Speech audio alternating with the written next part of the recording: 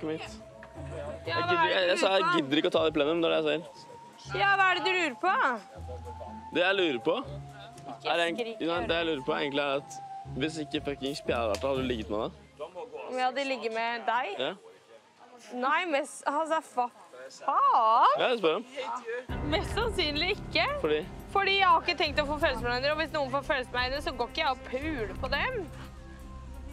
Hvorfor puler du på Pierre. Han, fordi han, han bryr seg ikke om meg, derfor puler jeg på han fordi jeg har lyst til å ha det gøy. Altså, so fucking what? Jeg er ikke her for å finne meg hva kjæreste, ikke til å dele opplegget? på det, men jeg har sagt det 140 000 ganger, det er ikke noe å diskutere engang. Nå går jeg. Ja, nå går du. Altså, du skal ikke gå glipp av festen, men du klarer faen ikke snakke meg i et jævla sekund! Fy faen, du er så jævlig fake! Jeg er så drittlei her. Nei, jeg sa det der. Satt den ned. Satt, satt deg ned, for helvete.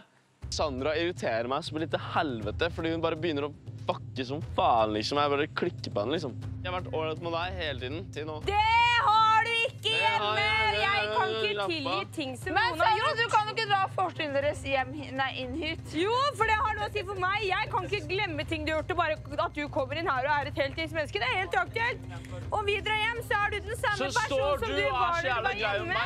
morgenen etter å ha ligget med Jeg Jeg syns jo det er jævla kult. Ja, men hadde du syntes det var jævla kult hjemme, om jeg hadde gjort det samme der.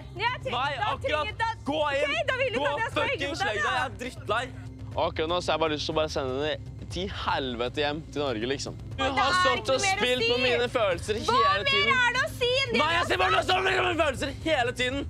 Bare skjønn det for deg. Skjønn litt hvordan du har fucket med hodet mitt. Ja vel. Jeg er egentlig glad i deg. Men på måten jeg føler at du har vært med meg de siste dagene, sånn jeg prøvde ikke å bry meg en dritt. Men det gjør faen meg vondt, og det, det håper jeg du skjønner. Ja, men jeg håper også at du skjønner at det, det er ikke lett for meg å gi tilbake til noen jeg ikke føler det samme for. Da er det bedre for min del å ta avstand, sånn at den personen ikke får falske håpninger. Skjønner du? Ja, greit, fuck it. Vi har helvete, liksom. Kos deg. Jeg har til og med sagt til deg, gjør akkurat hva du vil. Ligg med andre, ligg med Melina. Gjør hva faen du vil. Jeg driter i det. Du lå jo med Vivian i går, hun har ikke sagt en dritt på det. Nei.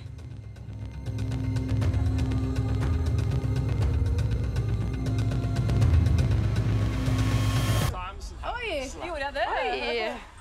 Nei, vet du hva, nei, men jeg begynner å bli lei av trynet ditt. Sånn er det. Du liker å pule alle andre. Du vil ikke pule bare meg. Pul alle andre, for faen! Vil du se mer av oss? Klikk her for å se hele episoden på Dplay. Vi skal lage TV dere sent blir å glemme. Jeg lover deg. Se neste episode først på Dplay. Dplay! Sjekk oss ut på YouTube. Trykk her.